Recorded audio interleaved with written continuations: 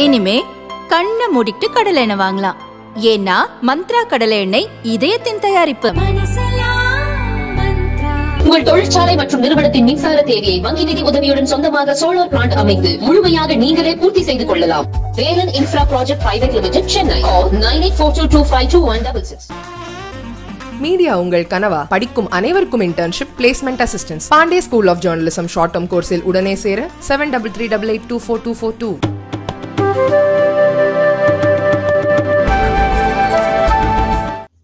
உத்தரப்பிரதேச மாநிலத்தின் அமேதி மற்றும் ரேபரேலி ஆகிய தொகுதிகள் காங்கிரஸ் கட்சியின் கோட்டை என்றே சொல்லலாம்.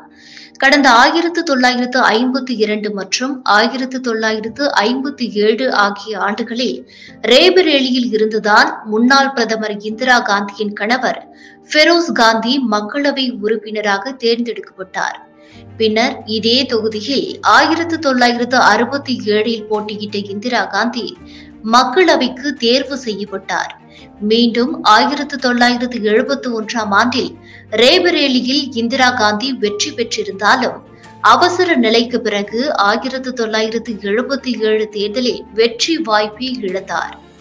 ஆனால் ஆயிரத்து தொள்ளாயிரத்து எண்பதில் நடந்த தேர்தலில் இதே ரேபரேலி தொகுதியில் மீண்டும் வெற்றி பெற்றார் இந்திரா காந்தி. அதன் பிறகு சில ஆண்டுகள் நேரு குடும்பத்தை சேர்ந்த யாரும் ரேபரேலி தொகுதியில் போட்டியிடாத நிலையில் இரண்டாயிரத்து நான்காம் ஆண்டு முதல் இரண்டாயிரத்து பத்தொன்பதாம் ஆண்டு வரை நடைபெற்ற நான்கு மக்களவை தேர்தல்களிலும் இந்த தொகுதியில் இருந்து காங்கிரஸ் கட்சி சார்பில் சோனியா காந்தி போட்டியிட்டு வெற்றி பெற்றார்.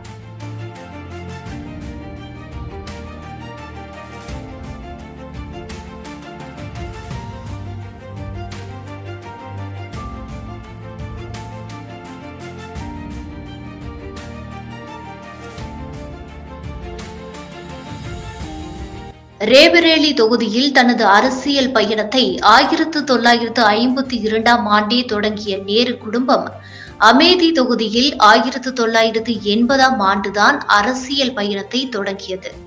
ஆயிரத்து தொள்ளாயிரத்து எண்பதாம் ஆண்டு இந்திரா காந்தியின் இளைய மகன் சஞ்சய் காந்தி இங்கிருந்துதான் மக்களவைக்கு தேர்வு செய்யப்பட்டார். அவரது மறைவுக்கு பிறகு ஆயிரத்து தொள்ளாயிரத்து எண்பத்து ஒன்றாம் ஆண்டு இதே தொகுதியில் இருந்து மக்களவைக்கு சென்றார் ராஜீவ் காந்தி.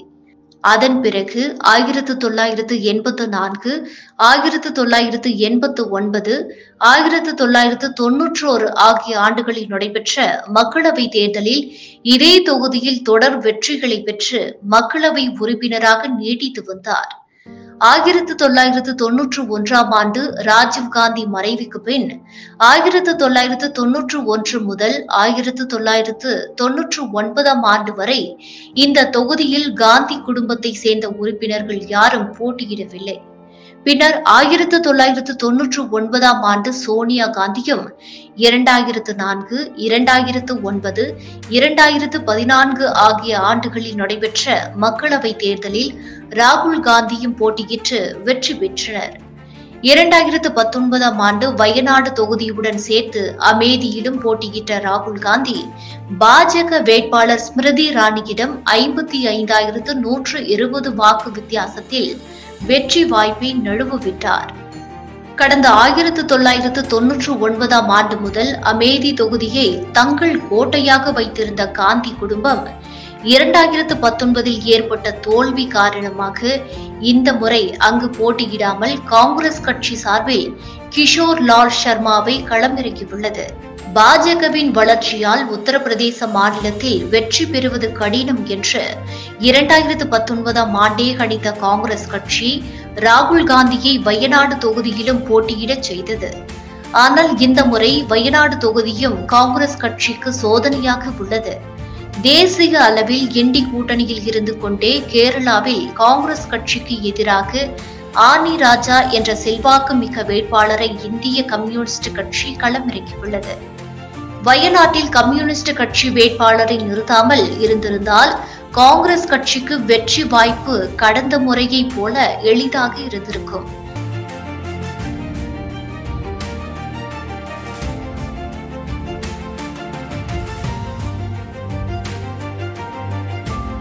ஆனால் இந்த முறை வயநாடு தொகுதியிலும் ராகுல் காந்தியின் வெற்றி இழுபறியாக இருக்கும் என்று கணித்த காங்கிரஸ் கட்சி அவரை வட மாநிலங்களில் செல்வாக்கு மிக்க தொகுதி ஒன்றிலும் போட்டியிடச் செய்யலாம் என்று தீர்மானித்தது.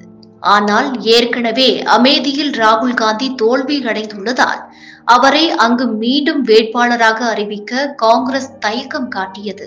நீண்ட ஆலோசனைக்கு பிறகு காங்கிரஸ் குடும்பத்தின் பாரம்பரிய தொகுதியான ரேபரேலியில் ராகுல் காந்தி போட்டியிடுவார் என்று மே மூன்றாம் தேதி காங்கிரஸ் கட்சி அறிவித்தது. அதே நாளில் வேட்புமனுவும் தாக்கல் செய்யப்பட்டது. இங்கு ராகுல் காந்தியை எதிர்த்து பாஜக சார்பில் தினேஷ் பிரதாப் சிங் போட்டியிடுகிறார். கடந்த மக்களவை தேர்தலில் சோனியா காந்தியை எதிர்த்து களம் இறங்கிய இவர் வெற்றி வாய்ப்பை இழந்தார்.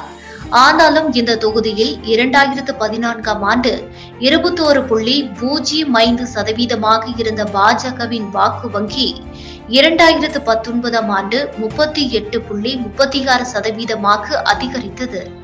இரண்டாயிரத்து பத்தொன்பது தேர்தலில் காங்கிரஸ் கட்சிக்கு கடும் போட்டியாக செயல்பட்டு இரண்டாயிரத்து பதினான்கில் ரேபரேலியில் அறுபத்து மூன்று புள்ளி எண்பது சதவீதமாக இருந்த காங்கிரஸ் கட்சியின் வாக்கு வங்கியை இரண்டாயிரத்து பத்தொன்பது தேர்தலில் ஐம்பத்தி ஐந்து புள்ளி எண்பது சதவீதமாக சரிவழிய செய்தார்.